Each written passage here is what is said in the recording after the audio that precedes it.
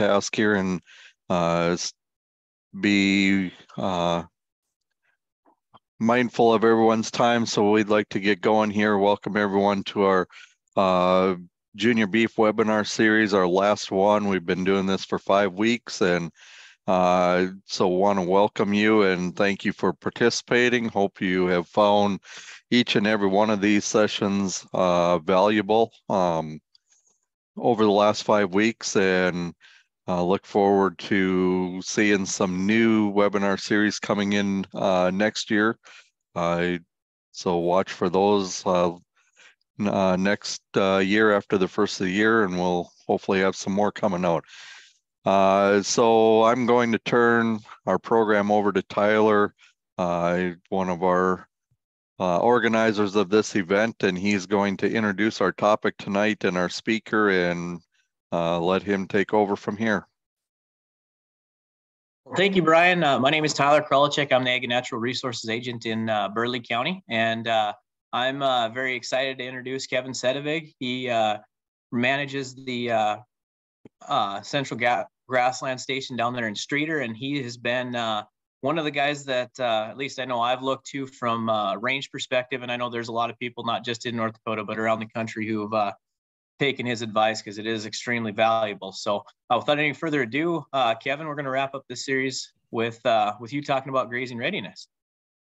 Kevin, before you jump in, uh, anyone that's got questions, uh, jump in, uh, put them in the Q&A section or the chat, and we've got people online that will monitor those and ask those questions when it's appropriate tonight. Go ahead. Well, thanks, Tyler and Brian. Uh, it is a pleasure to be on this evening.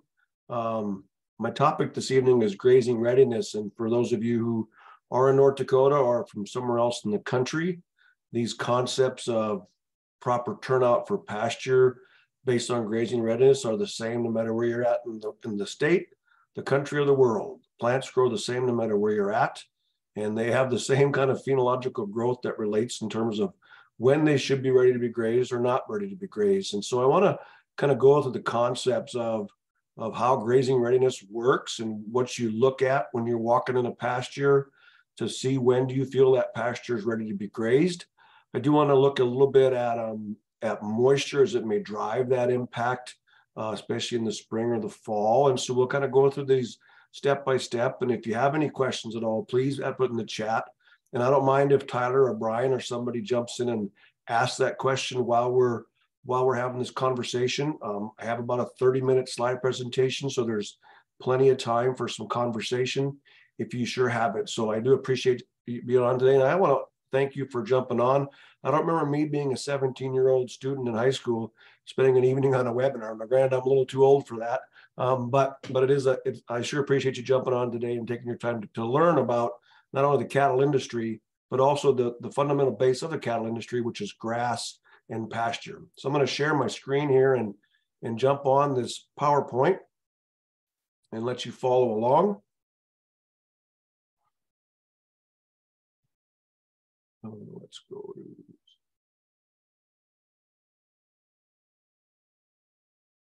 So hopefully you should all see the, the screen side with grazing readiness. And as Tyler said, my name is Kevin Sedivec. I am the Extension Rangeland Management Specialist at North Dakota State University, and I'm the director for the Grassland Research Station Center, which is located about south central North Dakota. I've been doing this job for about 34 years, and I've got a chance to see much of the U.S. in terms of pastures and rangelands. And like I say, I think this talk should be pertinent no matter where you're at in the country. So let's get into some grazing readiness discussion. And when we talk about what dictates grazing readiness, it comes down to a fundamental uh, ideas of phenological growth stage. And what that means is every grass reaches a level of development where it actually reaches a phase or a time period when you can actually go out and graze it without causing a negative impact on plant vigor or plant growth. And it, it really is a function of temperature and day length. So our plants really do follow that day length cycle. And normally when we get to the end of the spring and summer solstice, that's a time period when most of our cool seasons would have reached their peak phenology to a degree. Um, but a lot of that growth is based on temperature. And we drive a lot of that. You can actually look at how this occurs by looking at growing degree days. And every plant has a growing degree day threshold where it reaches that what I call proper turnout. For those of you who, who are involved in the farming industry, whether you plant corn or beans or cotton or wheat or barley, they also have the same kind of level of what is the growing degree day that dictates a three leaf stage or a four leaf stage or a boot stage or a grain development stage. And our grasses are the same way. And so they have this growing degree day threshold where they reach what I would call a grazing a grazing readiness phase. And so when you when you calculate growing degree days, and I'm just going to do a, a little short snippet on this, and I'll show you a publication that'll show you how to do this in a few slides. But growing degree days are calculated by taking the maximum daily temperature for that day plus the minimum daily temperature for that day and creating an average temperature for the day. So you divide by two to get an average temperature for that day. Then you subtract the base temperature for that grass to get the growing degree days for that grass period. The example is typically if you think of corn, the base growing degree day is 50 degrees. For a cool season grass, it's 32 degrees. For a warm season perennial grass, it's 40 degrees.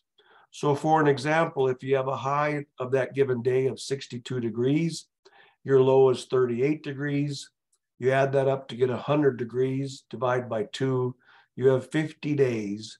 You then subtract that 32 day base day, uh, temperature for that cool season grass, and you have 18 growing degree days for that day. And you do that, you add that up for every day after you reach the, the minimum threshold. For so for the North Dakota or the cool season grasses, that's five consecutive days where we're above 32 degrees as that base. And I'll show you that in the publication. So when you look at this, if you look at the phenological growth stage for our introduced grasses, and so in North Dakota, that would be like a, a, a smooth brome grass or a crested wheatgrass. If you're in, in Iowa, it'd be Timothy. If you're out in the East Coast, um, it could be Timothy or orchard grass or tall fescue. Um, those would be examples of introduced grasses. It takes three leaves to reach a phenological growth stage where it's safe to graze that grass or it's ready to be grazed. For native grasses, so if you live in the, in the western part of the US, um, where we have native grasses are still common or dominant, um, it's about three and a half leaf leaves for a native grass. So like a western wheatgrass, or if you're a blue bunch wheatgrass, if you're down south, it could be big blue stem. Whatever that is, it takes about three and a half leaves for it to reach that stage. And I'm going to show you how that works in, the, in an upcoming slide. So when you look at, at the, the amount of growing degree days it requires to reach this growth stage, this is, a, this is out of the publication. If you just look at the top bar here, uh, where we have green needlegrass, where you want three and a half leaves as your proper turnout date. It takes 1,209 days on an average of growing degree days to, to reach that phenological growth stage. And you can see how it varies by the native species. Um, some are much more quicker, so it's only about 750 days for prairie June grass, but it's almost 300 growing degree days for blue grama. For exotic grasses, you can see it's much quicker. They grow much faster in the spring, and so an intermediate wheatgrass is about 655 growing degree days. And so once you reach that threshold, you should be at that phenological growth stage where it's ready to turn out to turn out to pasture. So I want to show you why we have picked three or three and a half leaf stage as that point where you reach grazing readiness, because it had to come from somewhere. And obviously it come from science on looking at when these grasses are ready to, be grazed. So I, I stole this or I borrowed this graph from Pasture.io. It's a website that looked at them, created some graphics for plant phenology. And I'll walk you through this graph. So the top part of the graph shows number one, a grass in the one leaf stage, and it has what's called a remnant leaf. This remnant leaf is important um, when it comes to reaching grazing readiness in the in the spring because that dictates what it what it grows in the fall. So this is one leaf. This is two leaves. Number three is three leaves, and four is four leaves. If you go back to the one leaf, you have to think about, if you learn this in, in high school, how a grass grows and how a grass gets its food. It can't just go to the local market and buy food to feed itself. It has to produce its own food. And if you remember, it produces food from water and carbon dioxide. And it takes energy to convert water and carbon dioxide into a carbohydrate or a simple sugar that the plant then uses as a food source. When a plant is just coming up, it does not have enough leaf area to capture energy. Remember, it gets its energy from the sun. So because it lacks the leaf area to capture energy, and it captures the leaf area to take in carbon dioxide, it has to rely on reserved carbohydrates in the root system for it to grow. So if you look at the bottom part of this graph, this is water soluble carbohydrate levels that is in the root tissue that that plant needs to grow in the spring. And you can see how that how that water soluble carbohydrate reduces as that plant starts to produce leaves till about three leaves to three and a half leaf staves where it's got enough leaf tissue to fully completely reserve or restore the carbohydrates back in that root system. So if you're harvesting a grass at the two leaf stage, it is probably the most susceptible to loss of vigor, thus loss of forage production, if you graze it at that time period. So it's important for to understand why we want to wait to that three, three and a half leaf stage so that grass can be as vigorous as it can possibly be to one, withstand the grazing pressure, but two, to produce as much production as it can to support that cow herd or that sheep herd or whatever you're grazing that year, you need to have that leaf area. If you impact vigor, so you do graze at that two leaf stage, a loss of vigor means you have a direct correlation of a loss of forage production, which means you won't be able to graze as long into the grazing season because you impacted that plant's growth. So that's why we look at this three to three and a half leaf stage. And we'll we'll talk about that. But I want to show you what drives that three and a half or three leaf stage in terms of one moisture, but also management. And that will then dictate pasture turnout or grazing readiness. Hopefully you're following along and that makes sense. So there's a publication we put out, Dr. Meehan and myself put this out uh, actually a couple years ago, and it's called Determining Grazing Readiness. It goes through the, the concept of the three and a half leaf stage. It goes through how to determine growing degree days. So you can track your growing degree days and see when you feel your pastures are ready to be turned out in the spring. So those of you who live in the Northern Plains, uh, we have a lot of snow this year.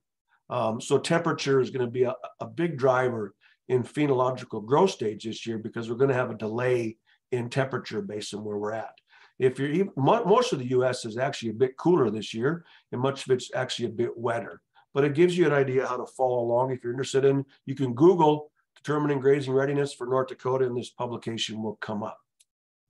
So we talk about proper turnout in terms of grazing readiness, but there's a secondary factor that will still drive grazing readiness, and that's herbage production. Even though a grass may be at three and a half leaf stage, if you don't have the moisture to create enough biomass, you could tend you can still turn out too early because you'll be ahead of the grass's growth. So production is still a driver, and I still always look at that as a secondary driver on should I turn out or not in terms of production. And I'll show you what I mean. So, so point, moisture tends to be this driver in terms of if you do have less spring moisture, you will have less production even though you're phenologically ready to be grazed. And, and the rule of thumb is you want to turn out the cows ahead of grass growth. So as that grass grows, you want to be behind that grass growth versus being ahead of the grass growth. So even though you may be at three and a half leaves, if you don't have the production and you turn out at full stock, the cows will be ahead of grass growth. And that will then also impact vigor of that plant species, which will impact production for that year. So the two really do play hand in hand. And I'm going to show you some examples how that works. And then grazing history. So grazing management by itself um, only has a direct impact on grazing readiness from what you do in terms of grazing the previous fall. And I want to show you what I mean by that in terms of fall management, how it impacts those remnant tillers. So when you look at herbage production, we're gonna, we already talked about the phenological growth stage. So let's look at pheno at herbage production. Um, this is a this is a smooth brome grass grass that was that I measured in an ungrazed pasture from the previous fall. So this picture was taken on May 10th. As you can see, I don't know if you can see my marker here, but this is that remnant leaf from the fall. And then this is the first leaf right here. This is the second leaf. And the tall one that goes to about five and a half inches is the third leaf. So we're at almost about three leaves at about five inches tall. So the next picture is taken the same day in a different pasture that was grazed hard in the fall. And if you look at this grass, this is the same grass. This is still smooth brome grass, but there's no remnant tiller or leaf from the previous fall. So this tiller had to develop or start growth from a new tiller in the spring. So one thing you know is it's about two and a half leaves. So it's a little bit behind, but it's only about three to three and a quarter inches tall. And remember, plant height has a direct relationship to production. So this pasture is going to produce less grass. So you may want to, so what we do is you're going to want to delay turnout so that grass can catch up to that five and a half leaf one so you don't impact plant vigor. And so you can see how grazing history in the fall will have a direct impact on that grazing readiness in the spring in terms of when you can look at turnout. So, so we'll look at this amount of growth depending on grazing history and the moisture. And I'm going to show you two graphs. And I did I, I didn't. I'm not a great graphic artist, so I'm going to have to go through this with you so you understand what I'm talking about. But I'm trying to show you on the blue line that is percent grass grass growth. So on May 15th, about 40% of that grass has grown. If you look at June 14th, it's about 85%. And on June 30th, about 100% of this grass has reached phenological growth stage of maximum production. The green line is actually production. So as you can see, production mirrors the, the growth of that plant in terms of percent growth. And that the peak production in this, in this scenario is 2,500 pounds per acre. So the red bar is, is looking at livestock grazing and turnout. So a cow is going to consume about 35 to 45 pounds of dry matter a day. So this stick takes about 35 pounds. And you can see we turned out these cattle behind the grass growth curve. So these gra- the grass is growing ahead of how these cows are grazing. They're going to consume about 35 to 45 pounds throughout the grazing season. And this allows that grass to have the optimum vigor or growth so you get maximum or optimum forage production in this scenario. So let's look at a different scenario where, where you're dry in the spring or that tiller is delayed because of what you did in the fall or you had a fall drought. You have the same growth on that grass growth potential. You turn out the cows ahead of the grass growth. So you can see the red bar is now ahead of or on top of that green bar. And that's just showing that green bar has less production um, as it's growing. And the grass, now the cows are grazing ahead of the grass growth. And because they do that, they end up consuming more than is available as that grass grows. And what you'll find in the end is you produce about 25 to 55 percent less production because you lose vigor from those plants by grazing ahead of the grass. Basically, you're hurting that grass. The only way you can fix that is to bring in a grazing system, move those cows off that pasture, and allow for it to recover enough so that it gets the vigor back. And that's where we talk about grazing systems as a ways to improve your management to enhance this growth. We're not talking about grazing systems today, but I want you to understand that you you not look at phenology, but look at when you turn out those those cows based on where that grass is growing in terms of vigor. I hope that makes sense. Um, I worked on this on Saturday, and it, I just tried to figure out to, how to get it going. So, when we look at grazing history and and moisture, you know, we can control grazing history. So as a rancher, you can dictate when you turn those cows out, when you graze those, those cows in the fall, and how heavy you graze those cows in the fall. Heavy, moderate, light, and how that may impact potential growth or vigor the next year. What we cannot control, of course, is moisture. And most of you, if you're in the cattle industry, you know moisture drives forage production. Moisture will make or break your year in terms of, of how much production you can produce and how those cows are going to do on pasture. So timing of moisture becomes critical. And you've, and you've probably seen this, you know, we could have a below normal precip year, but if we get the rains at the right time, we can still have a bumper grass crop and still do very well in terms of forage production. So I want to go through this timing scenarios for, for, for plant growth so you can understand how important it is in terms of, of how we look at this grass and how we look at forage production. So this is a graph that shows to your left bar is percent growth. On the bottom uh, X, X uh, line is the dates of the year. So we have April 26th up to mid-November. And the red bar or the red line is the growth of Western wheatgrass. That's a cool season native grass. And you can see Western wheatgrass is fairly low, slow to grow in the spring, but from June 1 to July 1 in the northern plains, about 60% of its growth occurs at that time period. And then it peaks out and then it senesces. So all your grasses, once they peak, they're going to senesce. So they're going to lose leaf tissue as it matures out or gets older. The dotted green bar is blue grama. This is a native warm season grass found throughout the United States, primarily in the western two thirds of the country. And you can see warm season grasses take more temperature, so they're going to be slower to grow in the spring. They do most of their growth from about mid June to end of July. They peak production in July, late July into mid August. Then they also senesce. And then if you're lucky enough to live in the northern plains, we have a grass called Kentucky bluegrass. Um, if you live in Kentucky, you know it as well. It's a fast growing invasive grass that grows heavily and from mid May to basically July 1 and produces almost 100% of its growth by July, July 1, then it senesces. My point is here that, that spring moisture in the month of May and June will dictate 80% of your plant growth for that year. You will know as a rancher by mid July in the northern plains if you're going to have a good year or a bad year. And if you live in Oklahoma or Texas, you're going to know by mid May. If you live on the East Coast, depending where you're at, up and down, um, you can dictate that based on how those plants grow. So in, in northern plains, we know that if we have good moisture in May and June, it's going to be a good year. If we have good rain in May through June or good moisture, we're going to have a normal production spring.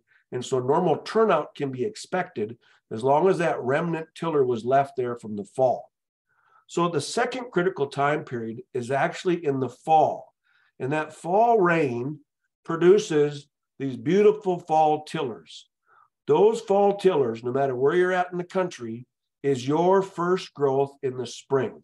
So you want to have fall tillers to speed up grazing readiness the following spring. So if you do not produce a fall tiller, either from a drought or you grazed away the fall tiller from heavy grazing, you will see a delay in turnout the following spring because you don't have that fall tiller. And I'm going to show you a really nice fall tiller. This picture I took from South Dakota that says May 10th. That picture was actually taken October 11th, and that's a Western wheatgrass tiller. What we want to see in the fall is lots of tillers. That will set you up to have a good spring in terms of proper turnout for range readiness.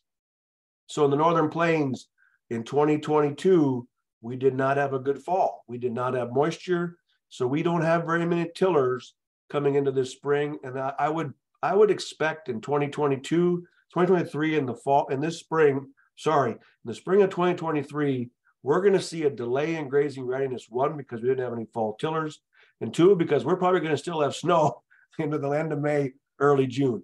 And so you're looking for those fall tillers to dictate that. So what I want to show you here, this is a a graph that shows you that remnant tiller on the bottom. So that's your remnant tiller that was created in the fall, the previous fall. And you see your first and second and third leaf. If you do not have that remnant tiller, it has to produce a brand new tiller in the spring to produce those first and second and third tillers. That takes about 10 to 14 days extra in the spring to get that tiller developed. And so you, you will know in the fall, you know, as you as you become a rancher yourself, or if you get in the cattle industry, use that fall tillers to tell you to prep you for the next spring uh, when you're going to look at proper turnout. So I'm going to show you two examples here. This is just a picture of Western wheatgrass taken on May 9th of 2017. And this was in Oliver County, North Dakota. We had 101% of normal fall moisture. So we had fall tillers. And so if you look at the tillers here, if you look at the peak here at about eight inches, this plant's about eight inches tall. It's at three and a half leaves on May 9th. This plant is phenologically ready to be grazed on May 9th because one, we had a fall tiller, and two, we have a vigorous plant stand that's actually barely productive. And so you're, you're really in good stage here on looking at proper turnout uh, this example. Let's go a year later on the exact same pasture. In the fall of 2020, 2017, we were in a severe drought. We produced about 40% normal precip. We had no fall tillers. So on, on 2018, five days later on May 14th, we were only three inches tall and only one and a half leaves have developed in this scenario. So we're going to see a delay in pasture turnout, one because of phenology, and two because of moisture. And so when you're walking a pasture in the spring, and spring's a beautiful time to walk our pastures, look for those three and a half leaf stage. Don't let the date be your driver. Look for the phenology to tell you where you're at. If you got a good spring moisture, you should be able to turn out at that three or three and a half leaf stage. I hope that makes sense. So I always get this question. Um, we got these fall tillers, and I just showed you that we need those fall tillers for spring grazing. You know, can a producer graze these pastures in the fall and not have a negative impact on grazing readiness and production the following year? And so our, our great county agents in North Dakota uh, were kind enough to do some example, do some data collection for us in 20, 2020, 2021 and 2022, looking at how grazing impacts these fall tillers. And I'm going to show you four grass species. So North Dakota smooth brome grass is one of our more common uh, vigorous exotic grasses. And all these, these bars are set the same way. So the blue colored line is the overgrazed pasture the previous fall. The red line is the take half, leave half pasture. That, so that's our typically proper turning, our proper grazing management. The uh, greenish yellow bar is our line is our moderate use in the fall, and that purple bar is our rested cell. And you can see with smooth brome grass, where we graze at full use or, or overgrazed it in the fall, we did give up growth and some production till about mid-May. And what was interesting on brome is it did almost make up at the end. By the end of May, it's one of them grasses that's resilient enough, it could actually come back and do well. What I would say on the brome, if you have brome grass, and you're going to this would be true of also Timothy or even fescue to a degree. Um, if you did graze it hard in the fall, I would delay turnout because your production is going to be slower in that first part of this of the month. Then you can turn out and it'll catch up in the month of June. So our, our great grass, the bluegrass, which for those of you who don't know what Kentucky bluegrass is, uh, it's, it's our typical lawn grass, but it invades most of the northern plains and southern Canada. And it can make up 50 to 60% of our pastures. This grass does not, not like heavy fall use. And you can see where we overgraze those pastures in the fall, even take half, leave half. We gave up not only phenology plant growth, but we give up about 50% of our biomass by grazing in the fall. And so if you have a bluegrass dominant pasture, you're going to have to delay grazing by almost a full two to three weeks in theory to catch up phenologically.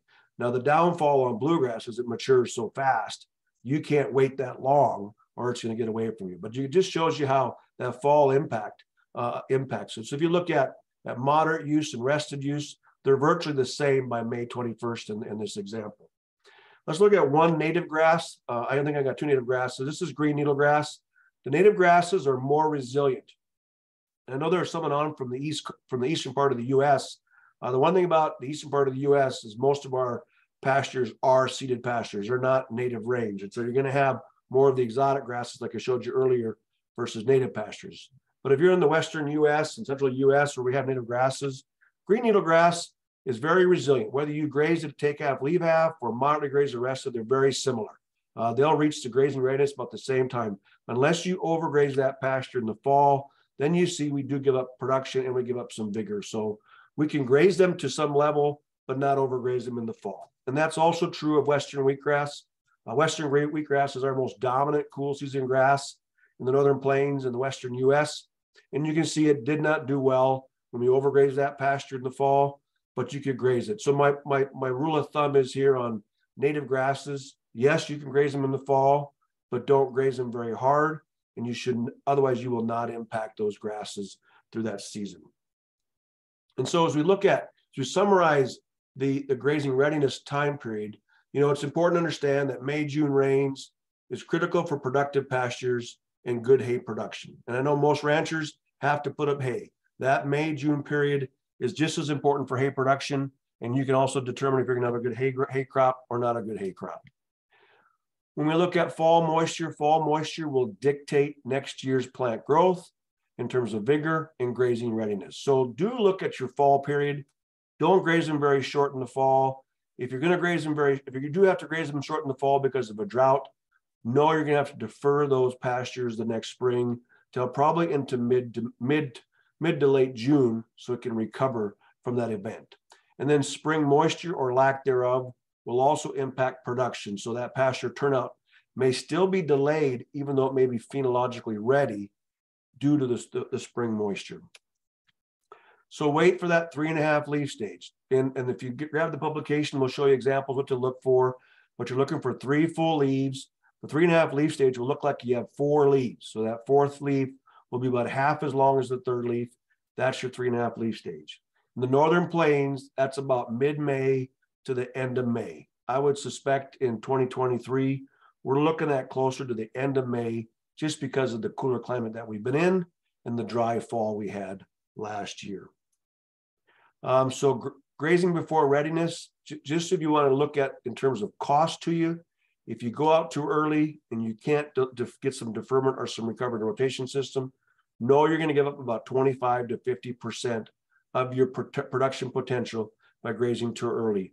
My rule of thumb is in the Northern Plains for May 1, for every day you go out in the first part of May, you give up three days in the fall. In the middle of May, it's two days. And at the end of May, it's a one to one relationship. So just think about how, how that may impact you uh, into the following season. And there, that's my last slide. I think I actually finished a little early, so we should have some time for questions.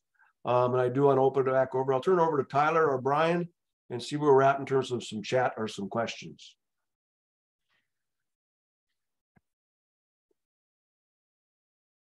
Kevin, thank you for all the good info. Um, obviously, right now we're not quite ready for uh, for grazing, um, but uh, you know, looking at a year like last year, um, you know, once that uh, that temperature starts to to heat up, um, you know, what's kind of the critical temperature that you might run into when that grass is really going to start uh, firing up for from a soil temperature perspective?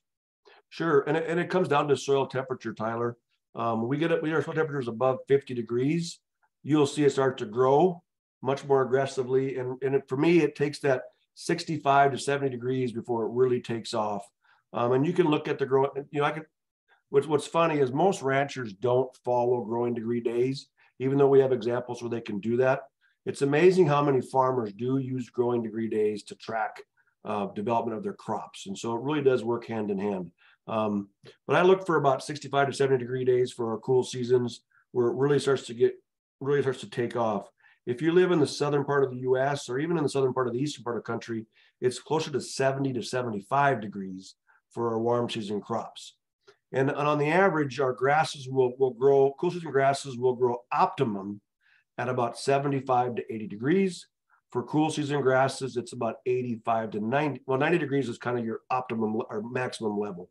And so once you get above 90 degrees, then you'll start to see some losses. Or what happens is it evaporates more. So the grass has to use more water to stay alive. It's basically its own air conditioning.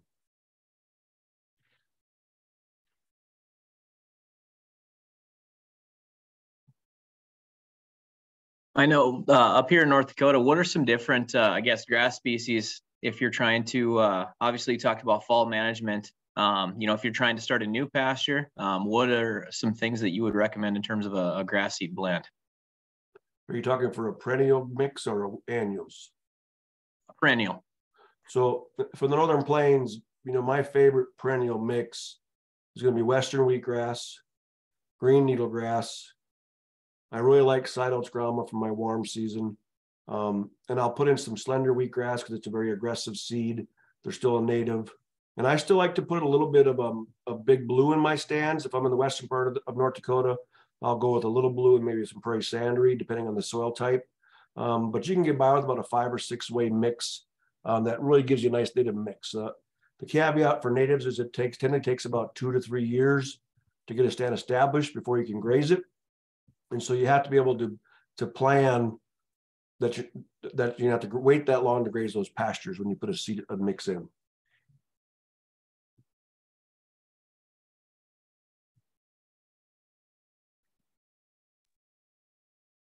All right. Are there any questions from anybody looking at the chat? I'm not finding uh, anything at this point. I see Jill makes a good comment on NDAWN, and for the northern North Dakota, we have a NDAWN, which is our North Dakota Ag Weather Network. They do calculate growing degree days for you for a location, and so it's a really cool tool you can use to, to track growing degree days within your own area. And what's what's important to understand in North Dakota is growing degree days can vary quite differently from Casselton, North Dakota to Dickinson, North Dakota, and from Minot, North Dakota to Jamestown, North Dakota. That that north, south, east, west can be a difference of 10 to 20 growing degree days on any given day. And so it, it will differ across the state. So if you get a chance to use those resources, I'm sure most states have some kind of resource that will track it for them. And it's just a great tool to use. Also in the chat, if you guys are interested in uh, any of the previous talks that we've had, uh, uh, Brian did post the uh, YouTube link to get onto those. So uh, you can always go back and watch those. Um, I'm going to launch a quick uh, poll for you folks to uh, fill out, if you would, please. So, so while they're filling that out, uh, Tyler, Jeff asked, should there, should we be trying to manage pastures to reduce the amount of bluegrass? And if so, can we do that? And, and Jeff, that's a great question. Uh, bluegrass is the dominant exotic grass that you'll find in North Dakota, Minnesota, South Dakota, Alberta, uh, Saskatchewan, even into northern Nebraska, uh, Iowa. It's become one of our, our most aggressive cool season exotic grasses. The one thing about bluegrass is it's extremely resilient grass. And so you can do some timing of, of, of grazing. And if I was going to try and hurt bluegrass, that fall period, if you looked at those graphs, if you graze it pretty hard in the fall, it impacts vigor the next spring. So if you come back and graze it hard in, in the spring, you will reduce bluegrass. The debate is, is can you can you do that enough to actually have a long-term impact or negative impact without hurting your native grasses? And, and I don't know the answer to that. My gut feeling is you you can't. Our native grasses are more resilient. And so the management on bluegrass, what I typically try to do is manage to use the bluegrass effectively but management so you also don't get it to increase. You know, our, our best tool to reduce bluegrass is really a combination of grazing and fire. The Northern Plains is fairly, fire is not common. And so we try to do it with grazing alone, and it's very difficult. But the, the best pastures that are low in bluegrass are pastures that are grazed fairly hard in the spring. And I mean spring like May and June. So if you do that, that that heavy grazing at that time period, you will impact it. But you can't do that year after year, or you're going to give up a lot of production. And you, you can't give up the production then you can't carry as many cows. So there's a fine line of how to do that and how at what level you should do it in terms of numbers of years. That's a long answer to your question, but hopefully it gets to the point.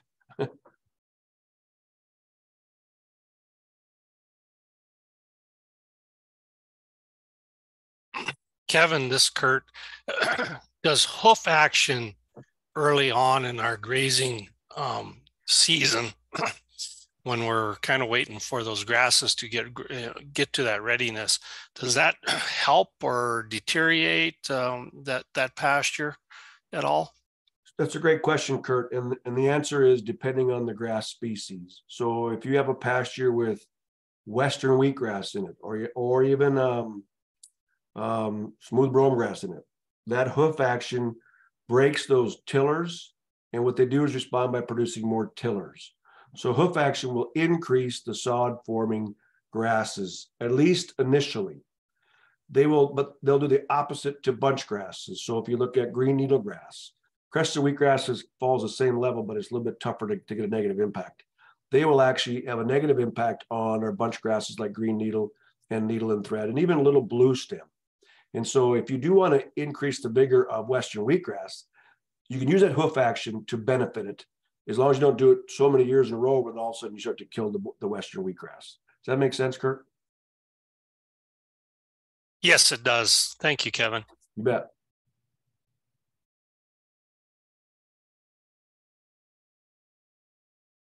Kevin, what's a, a, good strategy? I know there's all kinds of different topics about uh, you know high in uh, intensity, low duration. I mean, what's what's your recommendation if you've got adequate uh, pasture? So when you look at uh, grazing systems and grazing systems in terms of how intense you should graze your your strategies, um, rotate every day, every five days, ten days, twenty days. Recovery. The more you, the more intense you graze, the more uniform your grazing will be, the more uniform your grazing is, the greater potential you have to increase efficiency of regrowth.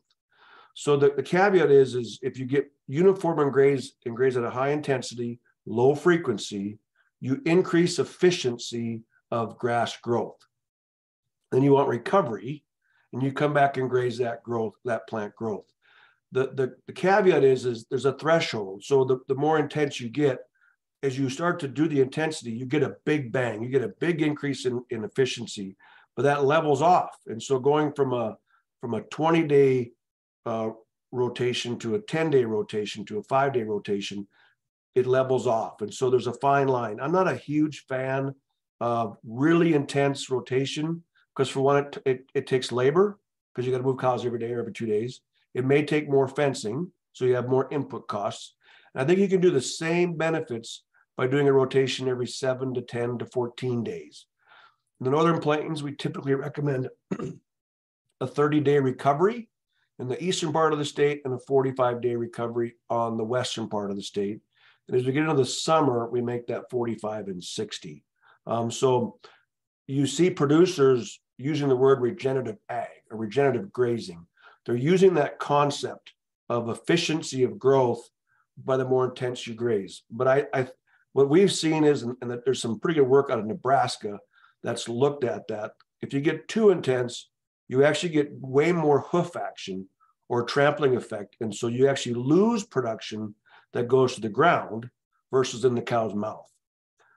Not that that's bad. You can use that root, that plant tissue to help with the soils, but they found that that that what I call a mob grazing scenario is actually the least efficient in terms of actually intake by the cow. How's that for a long answer? Good. Very uh, explanatory. Thank you. Um, another question is how can we determine stocking rates?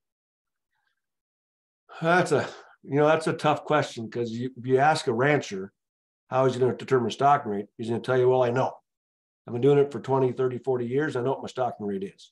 Um, for a for a person coming into a new pasture or they're renting a pasture, um, what I typically do is I look at the soil type, the soil type will give you an average production for those ecological sites. And then what I start as a rule of thumb is I look at if I produce 2,000 pounds an acre on a, on a, on a pasture, and you're going to consume about 500 pounds that goes through the cow, a thousand pound is left for plant vigor, and then you have 500 pounds that's just lost through natural senescence. So it's about 25% harvest efficiency. So that means 500 pounds goes to the cow. Cow consumes about 900 pounds a day. That means it takes about an acre 1.8 acres for that cow for a month. That's a quick and dirty way. There's some great publications out there that kind of go through how to do that, how to, how to determine carrying capacity and stocking rate. And so that's kind of how I do it is based on soil type, ecological site, and production. When you get into a grazing system, that harvest efficiency of 25% goes up to 35% and 40%. And so you actually get a higher stocking rate because of that that's an answer that I can understand, but most of the students probably don't understand what I'm saying. And I'm sorry, uh, but that's what I would use is actually the soil type and the production potential. And then budget 25% of it for the cow to consume.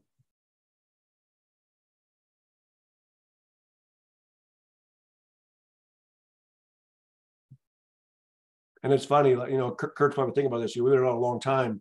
A lot of ranchers know what their stocking rate is on the average. What what's what happened is, especially in the northern plains, we've gotten wet, or at least we were wet to, up to 2016.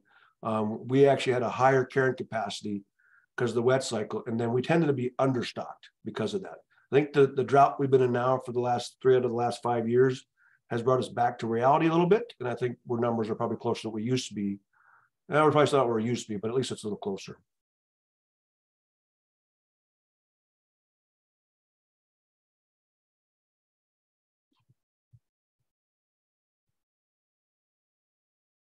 Are there any other questions out there from our uh, participants? I would like just one from a participant. I feel guilty that I feel like I, I didn't didn't hit the target today.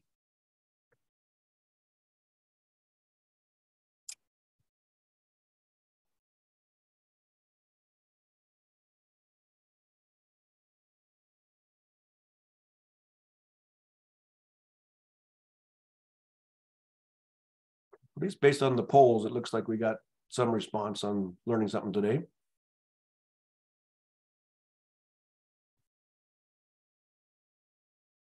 You know, I'm not seeing anything, Tyler or Kevin. Oh, we oh. got one. Oh, Came over in the Q and A. Catherine, could you define growing degree days again? Sure. So growing degree days is a, a calculation that determines um, it's basically created from a formula to get to when you can determine how many days it takes for a plant to grow phenologically. And so what you do for growing degree days is you take the maximum temperature for the day plus the minimum temperature for the day. You add those up, you divide by two, and you get a number. That's your growing degree days. So if you want to figure out growing degree days for corn, you would subtract 50, and it, that's what corn is. For our grasses, for cool season grasses in our plains, we subtract 32 degrees. If you were in Texas or Oklahoma, you would you would subtract 40 degrees for warm season grasses. And so it's basically just uh, an option to, to determine when you're at a certain phenological growth stage that was developed. And it was developed mainly for the agronomy sector of the industry in terms of agriculture. But um, the USDA ARS station out of Mandan took that data and, and created the, the growing degree days needed for the native grasses and exotic grasses in the 1980s. So it's actually about 45 years old now or 40 years old now when they developed that methodology. so Kevin, there is another question that popped up from a uh, from Chance. How can I tell if I have overgrazed my pasture or just full use? That's a great question, Chance. And and and here's how you look at if you overgrazed a pasture. So every grass has a growing point. And so when you look at a grass, the bottom leaf, so you look for that bottom leaf, and then the second leaf above it, there's what's called an internode and that node is its growing point. If you graze above that growing point, you did not overgraze the, the grass. It is still actively growing. So you're above the 50% use. If you consume all of the leaves except for the bottom leaf, and you may have got below the growing point, then you graze, then you have overgrazed that, that grass. So look for the bottom two leaves. If both your bottom two leaves are intact, you did not overgraze that, that tiller. If you graze below those that bottom leaves, then then you overgraze it. So that's how you. It's an easy way to look for it. Look for the bottom two leaves. Great question. And that's true of any grass species. Doesn't matter what where you're at. It's those bottom two leaves. So, Kevin, I'm going to follow uh, Chance up with that question. I did not do a very good job managing my pastures. I overgrazed based off of your uh, latest description. How long should I potentially expect to um, have that pasture recover? What what what's the length of time for me?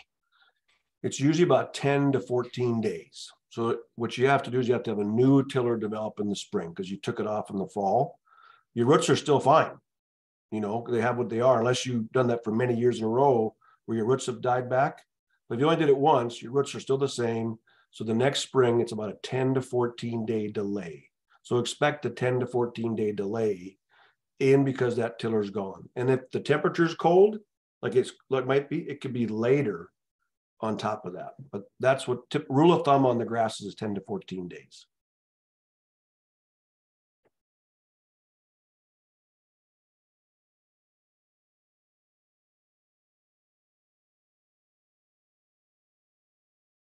Another one I just thought of for you, Kevin. Sometimes, especially out here in Western North Dakota, we have the uh, a nasty thing that happens to us in the spring of the year uh, called fire. Uh, mm-hmm. gets into our pastures, and it's before we're even thinking about turning out.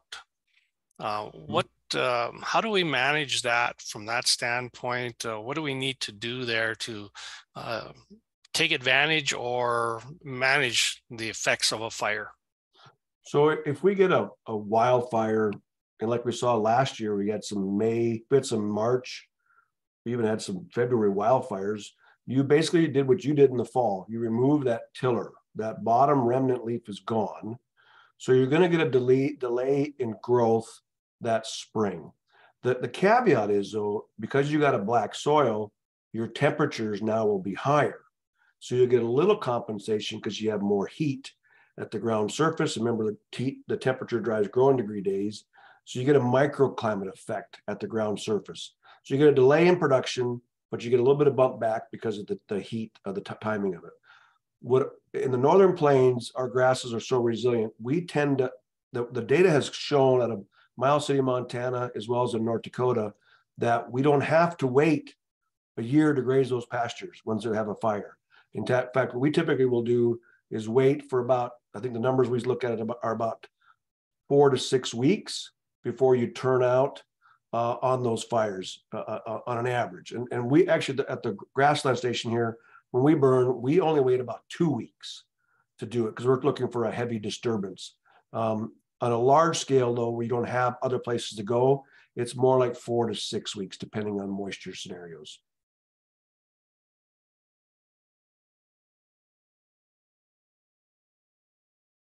Another one just popped up uh, in the chat. Following the wildfire aspect, does the wildfire affect the root of the grass? So that's a great question, and it comes down to the uh, the heat and the intensity of the fire. And so if if the fire was hot enough and moved slow enough to where it actually got into the soil profile to get to the roots, it can have a negative effect on that plant, especially if it's a bunch grass. If it's a bunch grass, you may actually kill that grass. If it's a sod former, you will not kill it, but you will delay it. Most wildfires are driven by wind.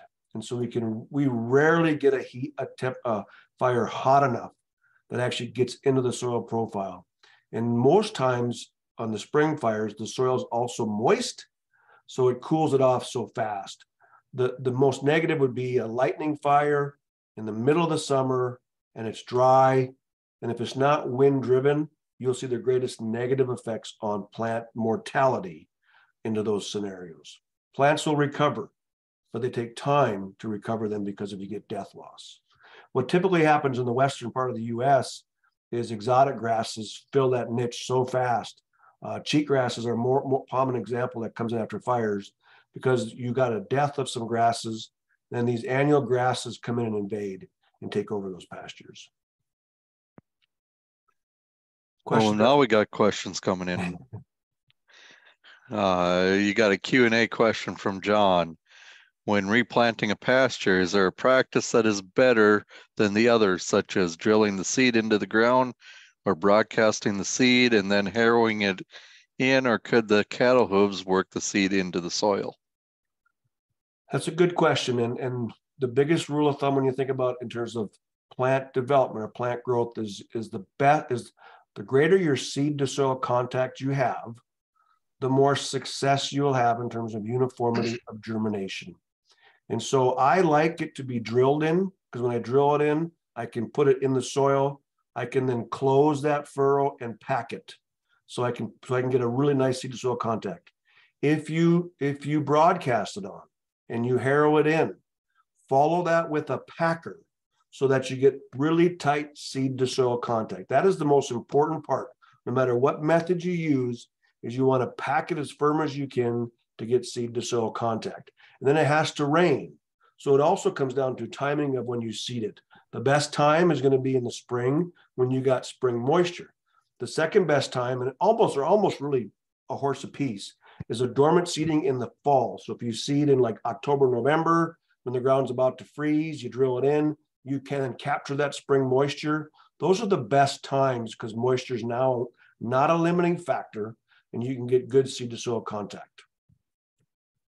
Hope that answers your question. I see Faith has a question also. She said, if you get a spring frost, how much damage does it cause the grass production? And that's a great question. In the northern plains, where we are cool season grass dominant, when those grasses come up, they're fairly frost tolerant. And so it has to get below 22 to 24 degrees before it actually nips the top of the leaf. And so if it only gets to 30 degrees, 28 degrees, it's not going to affect cool season grasses. If you're in the south where you're warm season dominant, like an Indian grass or a big blue or a switchgrass, that will actually have a greater impact. And what happens is the grass will actually freeze at the top.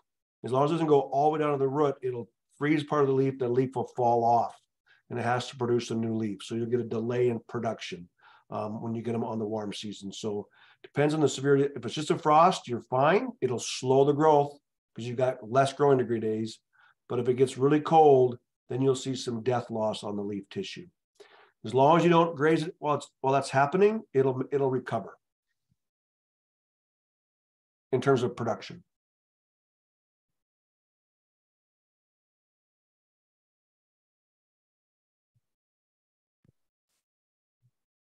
Well, I'm going to make call for la any last questions here. We're going to wrap up here about 7:30. So, any last questions? If you want to uh, get those into the chat or Q and A section, uh, do that at this time.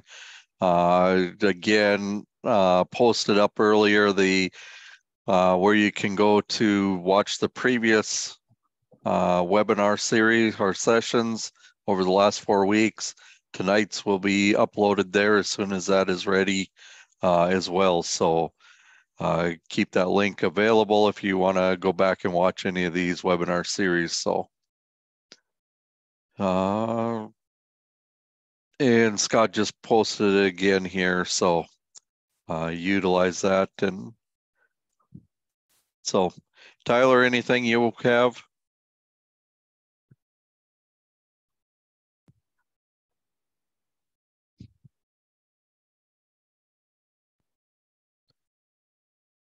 I wonder if Tyler had to step away for a second. just for a second here. So thanks again, everybody, for coming in. We appreciate you guys, uh, not just tonight, but the whole uh, whole webinar series. Hopefully, you were able to learn some good information along the way. Uh, Kevin, thank you so much for. Uh... Got a little following me here. Sorry. Uh, but yeah, no, thank you so much, Kevin, for uh, coming in tonight. And uh, and talking about uh, grazing readiness. It was a lot of great information. So um, thanks for everybody who got on and you know answer the polls, and hopefully we'll get you some good information going forward. Thank you. Well, well thanks for the invite. Appreciate it. Well, with no other questions, I think we're going to wrap up tonight. And thank you guys and for participating. Uh, any questions? Reach out to us. We're happy to help you whenever we can. So, thank you. Thank you, Kevin. You're welcome. See ya. Have a good evening.